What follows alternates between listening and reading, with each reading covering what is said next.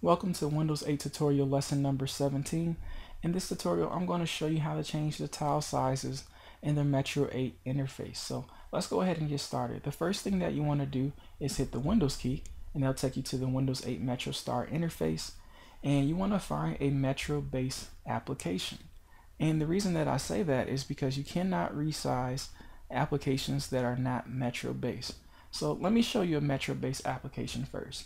If you right click on the weather application, a menu bar will come up at the bottom of your screen and you'll be able to select the option that says smaller. So go ahead and left click on that and it'll make that application smaller. And if you want to make it larger, you just simply right click on it again and then select the option that says larger. But let's try that with a regular application that's not Metro based. So let's say that we right clicked on Google Chrome.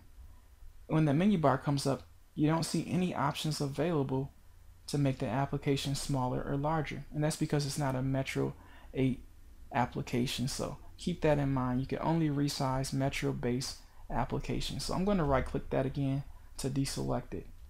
So how do you know which applications are Metro based? Well, for one, any application that you install from the Windows 8 store is a Metro based application. And other than that, you'll have to check and make sure that it's not a Metro based application. So if you right click on it and it has an option to make it smaller or larger, then it is a Metro based application. So that's how you'll know. I hope that this tutorial was helpful and if it was, don't forget to embed, comment, share, subscribe, and I hope that you stay tuned for future tutorials. Have a great day.